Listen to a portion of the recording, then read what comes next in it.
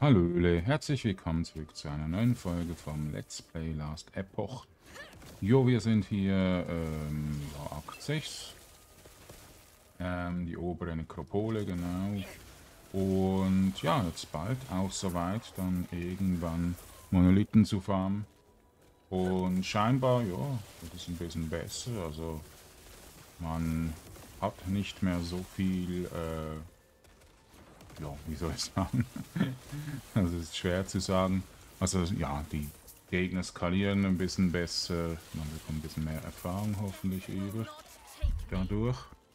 Und jo, ähm, sie sind stärker als Primary Corruption. Werden die dann stärker, die Gegner. Ähm, jo, weil es war relativ dann immer so, dass es halt einfach gerade keine Herausforderung gab längere Zeit. Dann äh, diese Empowered Monolithen und dann war das Spiel ein bisschen zäh. Und das haben sie hoffentlich ein bisschen behoben. Weil ja, geht es natürlich dann auch umso besser. Euch hoffentlich auch. Vielleicht habt ihr schon äh, ja, Zeit gehabt, dort zu spielen und alles. Könnt ihr vielleicht ein bisschen sagen, wie so ist. Aber mein höchster Charakter ist jetzt momentan in 8. Das ist der Falconier, den ich dann auch noch zeigen möchte später. Aber der braucht noch ein paar Items und ja, der ist aber eigentlich schon ziemlich stark. So, jetzt muss ich kurz mal schauen, wie man hier es geht. So. Und zwar doch auf Bluten. Ähm, gehen wir nach rechts, haben wir schon. Äh, und sonst... Vier Punkte dort rein. Haben wir auch. Wir können uns nur noch bluten. Äh, dafür müssen wir einen Punkt hier noch hin tun. Das sind auch zwei. Also der hat nicht weiter geskillt. Hm. Wenn der Guide einfach nicht mehr zeigt, was man skillen soll dort. Jo. Ist ein bisschen blöde. Okay, gut. Das ist ja im Blut entreißen, ist einfach so ein Utility, Utility äh, Spell. Kannst nicht mal gut aussprechen. Der ein bisschen heilt. Jo, mehr auch nicht. Ähm, es gibt aber einen anderen Bild, den ich wahrscheinlich dann irgendwann mal umskillen kann. Dafür brauche ich gewisse Items. Zum Beispiel das der Götzen aus diesem Empire äh, Monolithen. Den müssen wir dann empowered machen. Und jo, äh, habe ich natürlich noch einige Zeit. Und ja, ich möchte auch mehr Parts bringen. Ich habe jetzt einfach sehr viele Projekte gerade im Moment. Geht es manchmal nicht so gut, wieder zu Last Epoch kommen, zu kommen. Aber ähm, oh, das liegt einfach daran, dass ich das Spiel schon relativ gut kenne. Und jetzt nicht unbedingt immer so im Augenwinkel habe, oh, ich muss dort einen Part machen. Sondern, jo. Ja, es ist einfach jetzt gerade momentan nicht mehr so beliebt und die Lust ist auch nicht mehr so extrem da, bevor wir nicht in Monolithen sind. Es ist halt Akt machen und ich muss ja dringend Akt äh, 9 dann auch noch ziemlich durchmachen. Ich werde wahrscheinlich den Endboss noch nicht besiegen, aber immerhin diese Gate of Fortune holen. So. Mal schauen, wie so gut geht. Ja, und ich merke, der Falcon ist schon ein bisschen stärker. Der ist auch ein bisschen broken. Also gegen Bosse habe ich da ein bisschen deutlich länger. Gegen diese, ja, zehn Gegner. Eaten. Und, jo, ist auch ein bisschen einfacher zu spielen. Meistens muss ich nur mit einem Angriff ähm, angreifen beim Falcon. Da ist ein bisschen langweilig.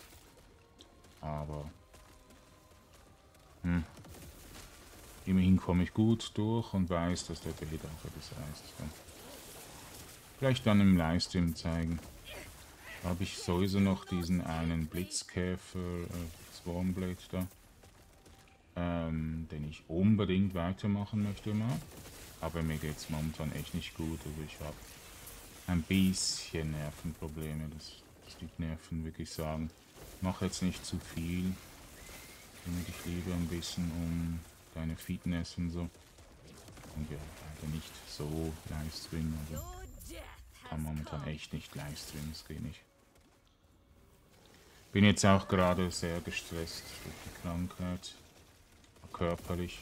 Als würde ich irgendwie ja, irgendwas machen müssen, was mich ähm, sehr beansprucht, oder?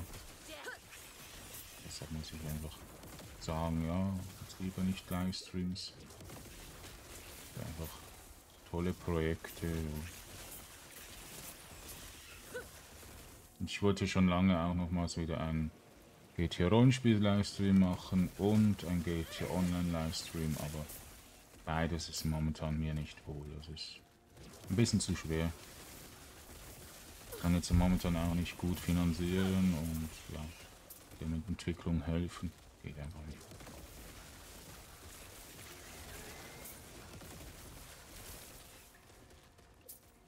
So. Und in letzter Zeit habe ich auch ein bisschen geschaut, dass ich das machen kann, was mir gut tut. Und es hat herzlich wenig, was mir gut tut. Also Skyrim hat mich ein bisschen motiviert. Ja. Ähm, Medieval 2 Eras hat mich auch motiviert. Und vor allem Transportfieber 2. Aber so Actionspiele ist jetzt momentan nicht so für mich. Keine Ahnung wieso. Weil es einfach Action ist und das vertrage ich momentan nicht so.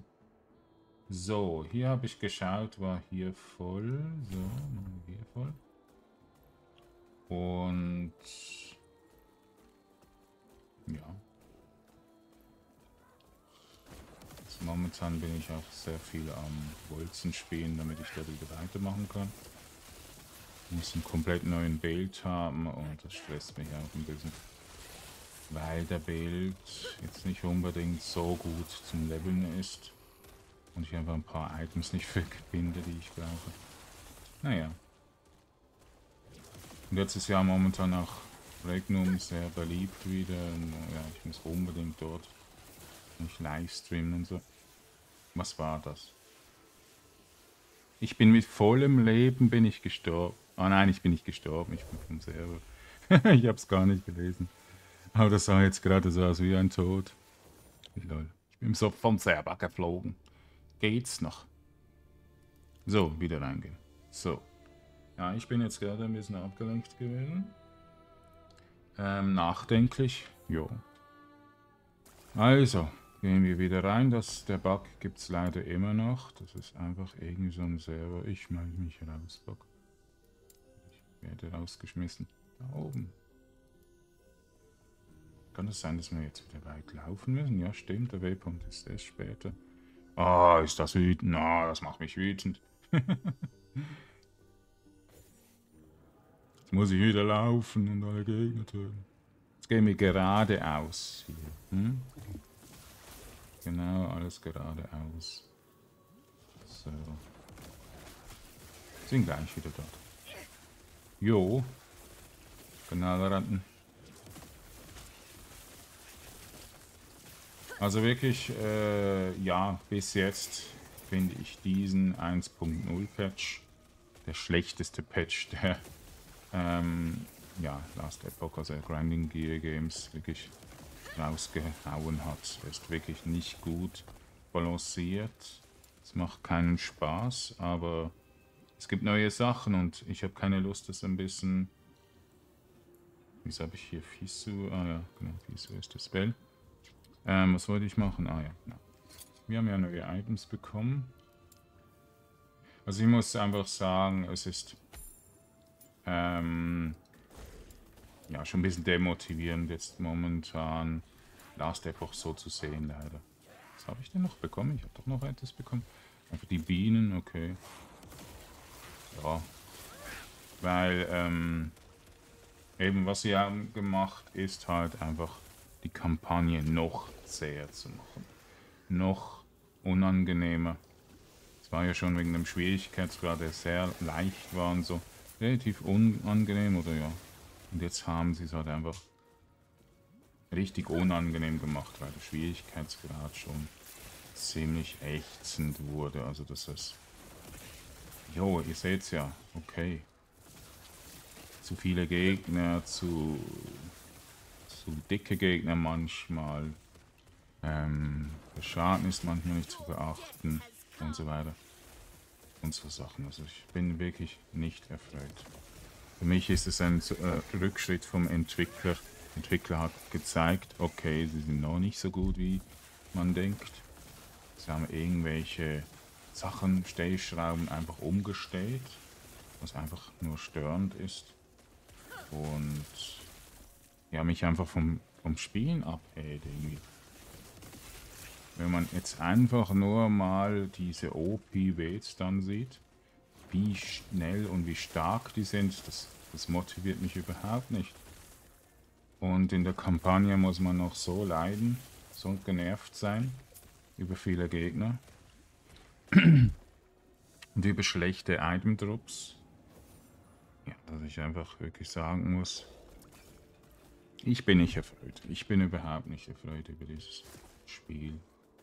Über dieses ähm, momentane, äh, ja, die Weite des Spiels, oder? Eben weil es auch wieder einen harten Rückschritt wurde. Es gibt immer noch Bugs, es gibt immer noch irgendwie Crash, es gibt immer noch schlechte Latenzen und so. Ähm, ja, und mittlerweile kann ich auch verstehen, wieso der ja, Durchschnitt nicht so gut ist Legend. Also die Spiele wirklich manchmal schon ziemlich das Spiel ähm, negativ beeinflussen. Und ja, ich war eigentlich, ja, mindestens zwei Wochen wirklich doch ein bisschen angetan, aber so, ja, wie ich, wo, wo er relativ müde ist, wenn er zockt. So ein Spiel muss aushalten, ist halt schon äh, ziemlich nervig, oder? Es geht auf die Nerven. Ich ja schon in der Nervenkrankheit wenig Energie habe. Aber gut, für andere ist es vielleicht, ja, toll, so einen Schwierigkeitsgrad haben. Also es ist nicht schwer, aber es ist gemein. Also der Schwierigkeitsgrad ist der so, äh, ja, du musst jetzt immer dabei sein, sonst bekommst du zum Beispiel ganz viel Giftschaden über. Der wirklich extrem stark wurde, der Gift- und Blutschaden von den Gegnern. Wurde extrem stark. Also der Falcon hatte null Probleme, ähm, diese, der Warlock eigentlich auch, aber so zum Beispiel die zwei ähm, Schamanenbeets und der Druidenbeet, der hat wirklich Schwierigkeiten gehabt. Was ist eigentlich hier rechts? Und was mich halt immer noch nervt, ist der Chat, der nicht ausgeht. Kannst du einfach nicht ausstellen. Du kannst zwar, dass du nicht mehr schreiben kannst, einstellen, aber den Chat irgendwie auszustellen, nein, geht nicht. Und da sind halt immer wieder irgendwelche Bots dabei, die besonders nerven. Ah, okay, nur so eine Küste und Auge. Ja. Also eben der Quality und so. Kein Bot mehr, ich habe alle gebannt. ähm, die Quality vom Spiel hat halt wieder gelitten. Es ist eher wieder die Quantity, die halt immer als jo, eingebaut wurde. Und eben, dass man irgendwelche Items nicht balanciert, finde ich einfach eine Frechheit. Wenn sie schon so overpowered sind, dass jeder die, zum Beispiel der einen Helm Oversoul, Over Ding, äh, nicht Overlord Helm, genau, nicht nervt oder so Sachen, finde ich einfach eine absolute Frechheit. Sie kündigen zwar an, sie tun Spells nerven, aber Items tun sie, glaube ich, gar nicht nerven. Wollen sie wahrscheinlich auch nicht. Also Blutchance bringt uns vielleicht noch ein bisschen Damage bei diesem Blut in 30 wenn er proc. Sonst... Ich habe jetzt gar keine neuen Items gefunden, nix, was mir eigentlich weiterbringen kann. Oder Giftschaden, Hm. Ja, Tut mir ein bisschen leid, dass ich nicht so motiviert bin, aber es ist jetzt gerade auch ziemlich eine Tortur, hier nochmals durch den 16. Akt zu gehen. Ich habe ihn, glaube ich, jetzt nur einmal gemacht. Oder eineinhalb Mal. Und ja. Ist schon ziemlich lame. Also wirklich total lame. Und sie machen halt nichts. Oder die, die Spiele sagen, tut mal diese äh, Akte optional machen oder so. Gut, euch auf das Spiel konzentrieren, was, was Spaß macht im Spiel.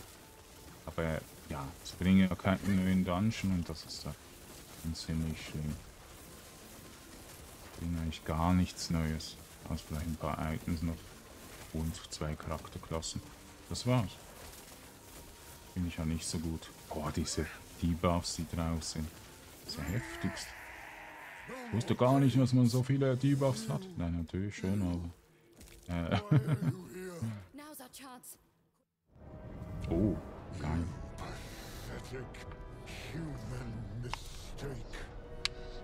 Das motiviert wieder.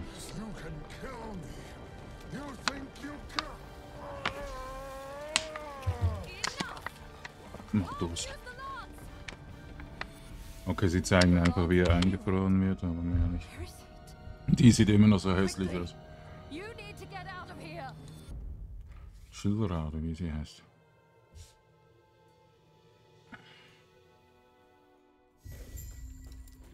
So. Steht wegen irgendwie wieder nirgends. Die hat auch ein paar Unix, merke ich gerade. Das ist cool.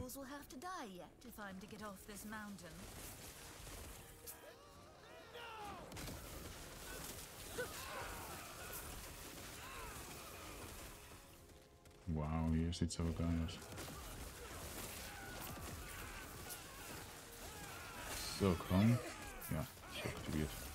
Puh, ich dachte schon, es gibt gleich einen Crash. So, ähm... Ja, jetzt hoffen wir einfach, dass wir schnell durchkommen.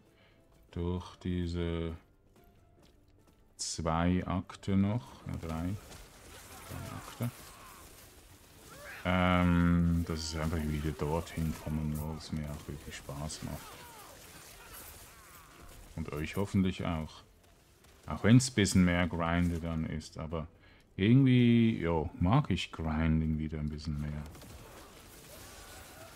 Es ist so, als würde man äh, einfach ein bisschen arbeiten können und nicht nur durch die Akte rushen und nicht irgendwie auf Itemjagd gehen oder so.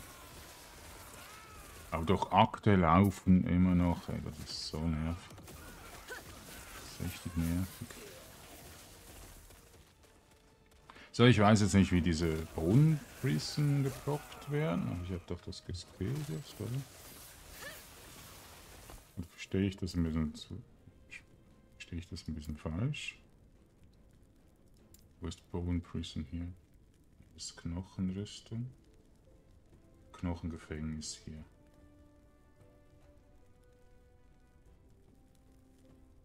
Also ich muss es noch scalen, aber ähm, das bringt scheinbar Wort. Und das ist sehr gut haben wir einfach mehr Abklingzeit dann. Aber mal schauen.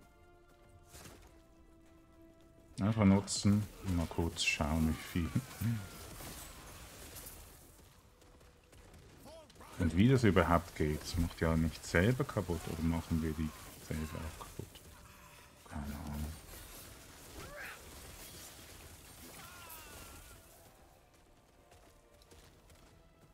Aber das war irgendwas, was halt wirklich viele nutzten dann plötzlich. Nein, ist halt OP.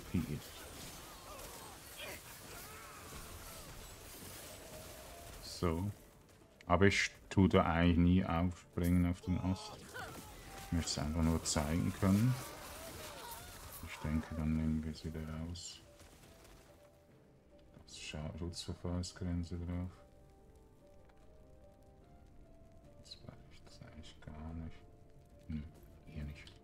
mit diesen Werten nicht.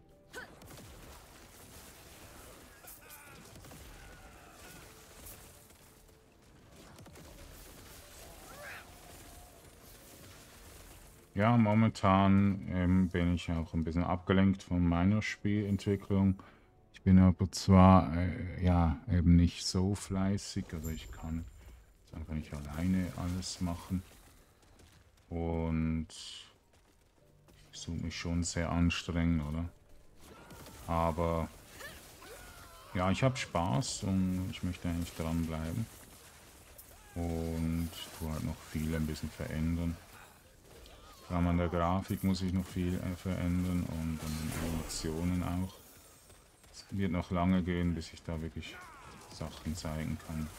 Ich euch auch zeigen darf oder kann. Vieles hat halt so mit Quellcode oder mit ähm, Ding zu tun, mit Scripts und so, und die möchte ich eigentlich nicht zeigen. Weil ich halt selber da eine Formel mache könnten andere das einfach kopieren und hätten auch sehr viel Erfolg wahrscheinlich. Das ist ein bisschen blöde.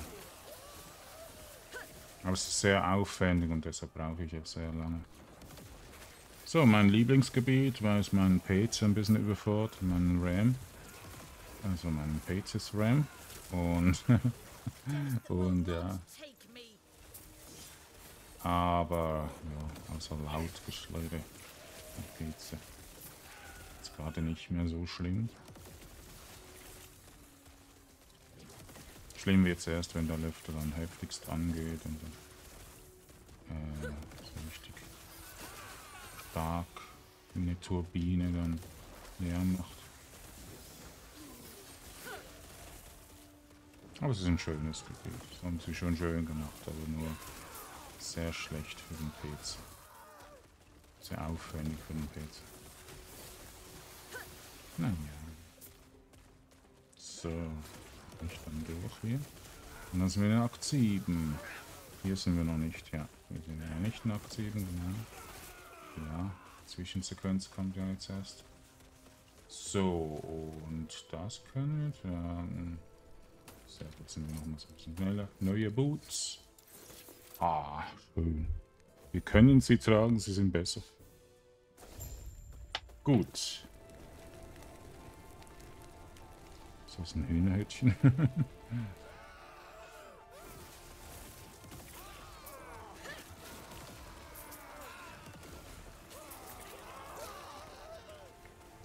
okay, hier ist schon ein bisschen aufwendiger wieder für den Pilzer.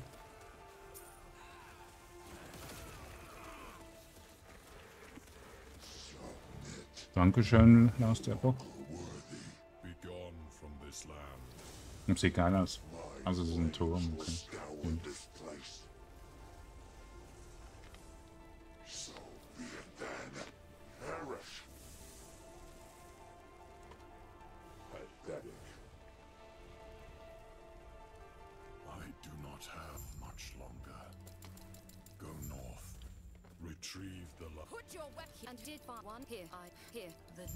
So, raus hier. Oder rein in die, ins, ins Dorf. Stadt ist es ja nicht.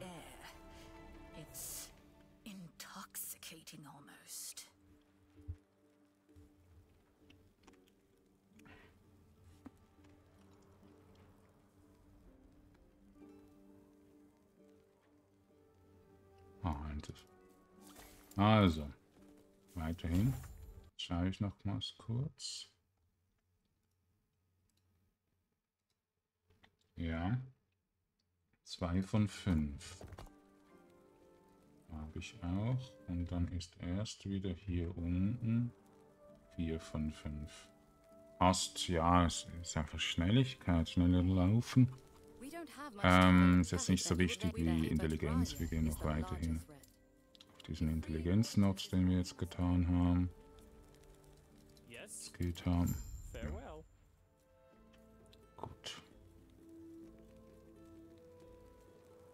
Ich mag Bienen.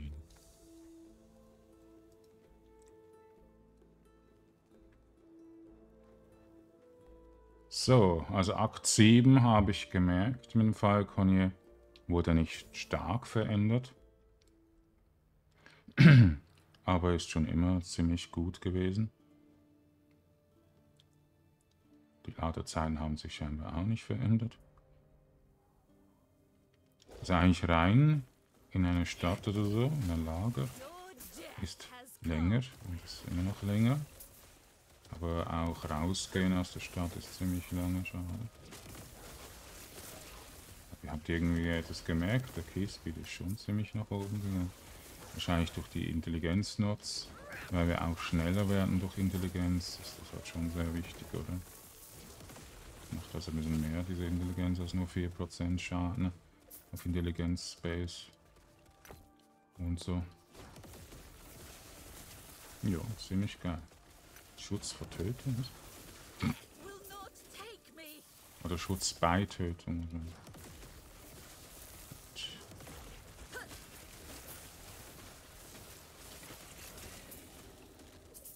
Ja, eines meiner Lieblingslevels, weil es so viele Gegner hat.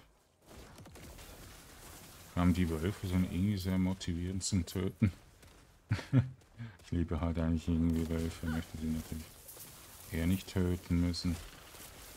Ähm, habe sie einfach zum Beispiel in Diablo 2 remoddet. Doch sehr auch gerne als Begleiter. Und jo. Wenn ich dort auch aufs Weiterkomme. Sind wir in Akt 2 angekommen bisher. Und ja, es macht sehr viel Spaß. Ist ein toller Mod für ein tolles Spiel. Für Diablo 2 Resurrected. Die neue Auflage sozusagen. Und ich habe auch geplant, alte Mods fürs normale Diablo 2 Destruction zu spielen wieder. Ah ja, genau, die äh, Dungeon Siege 2 wollte ich ja mal anfangen. Genau. Es gibt noch viel zu tun.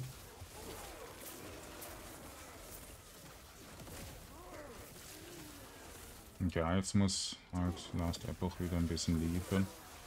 Bald, ich glaube am 9. April oder so erscheint dann die neue Season. Äh, ja, von, also Liga von Pessofixe. Und weiß nicht mehr so genau, aber irgendwas mit Monolith oder so. Oder mit Mausoleum, irgendwie so etwas.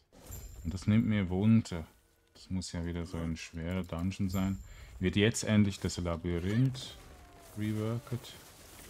Ja, es muss eben auch ziemlich gut laufen auf meinem PC. Das macht ja ein bisschen Probleme. Ja, muss ich die Grafik runterstellen, die Effekte halt nur. Wie so das. Es liegt auch an Wolken, das funktioniert bei mir nicht so gut. Hat irgendwie Probleme. Umstellen auf direkt 3D, irgendwie X2, 12. Da unten ist ein Schwein. So, aber langsam müssen wir kurz eine Pause machen. Ja komm, machen wir noch kurz. Ein bisschen länger. So, ja, diese Dinge sind auch nicht mehr das war. Diese Käfer sind viel zu langsam. Sie schießen fast nie, bis wir Gegner tot haben. Was kann man? Ja, man kann's. Die meisten klicken dort nicht drauf auf äh, neu verteilen. Keine Ahnung wieso. Aber neu verteilen heißt für mich halt auch einen äh, anderen Spell nehmen zu können und so. Vielleicht für Neulinge nicht so ganz klar. Also ich war ja auch mal Neuling. Ich habe das direkt gecheckt, dass ich dort reinschauen muss. Ja, ist wahrscheinlich auch sehr viel Faulheit dahinter. So, noch drei habe ich dort zu verspielen. Ja, ist gut. Ich fahren am Anfang noch ein bisschen aus. Und ja, ich muss sagen, dieser Löffel, der ist sehr stark. Wenn man so bedenkt, wie ich jetzt wieder schneller wurde. Wie langsam ich am Anfang von diesem Part war. Ziemlich geil.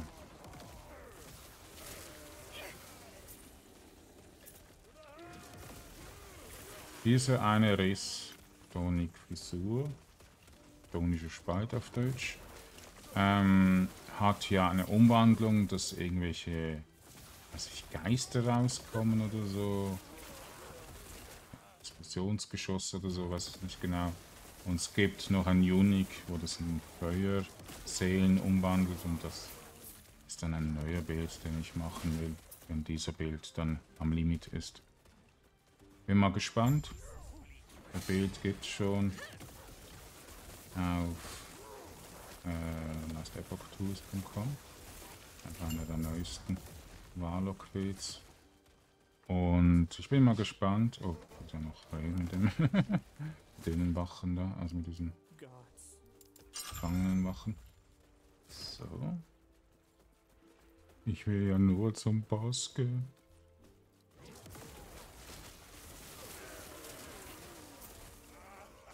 So, wann kann ich diesen tonischen Spalt dann skillen? Ich muss jetzt unbedingt da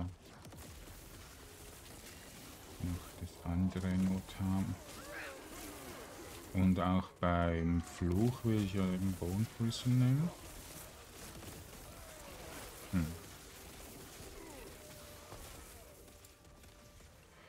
Äh, der da. Aber ein bisschen Mana-Problem, glaube ich.